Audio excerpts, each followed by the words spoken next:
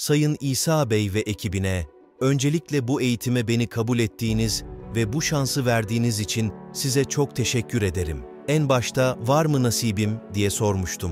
Çok şükür Allah'a nasip oldu.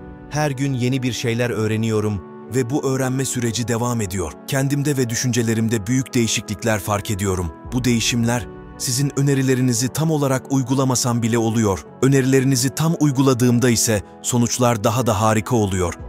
Bu düzeni sağlamak için elimden geleni yapıyorum ve düzenli olarak sizlere geri bildirimde bulunacağım. Öğrendiklerimi nasıl anlatacağımı bilemiyorum ama canlı yayınlarınız benim için çok değerli. Canlı yayınlar sırasında veya sonrasında aklımdaki sorulara cevaplar bulabiliyorum.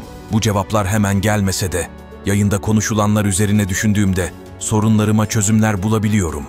Canlı yayınların enerjisi de bambaşka. Bu eğitimle düşüncelerim değişti. Daha rahat ve sakinim. Farklı bir bakış açısıyla sorunlara çözüm yolları bulabiliyorum. Kalbin sağ tarafı gibi ifadeler. Sorunların kökünü bulup çözmemizde bize yardımcı oluyor. Eğitim boyunca bildiğim şeyleri sorgulama fırsatı buldum. Daha önce farkında olmadığım birçok şeyi fark ettim ve her gün biraz daha anlamaya çalışıyorum.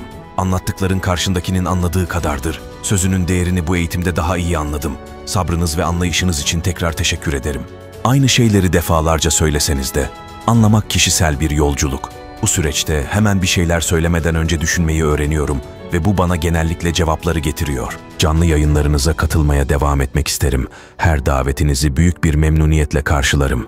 Allah sizden razı olsun, verdiğiniz hizmetin devamını dilerim ve bizlere de bu yolda hizmet etme şansı vermesini umarım. Saygılarımla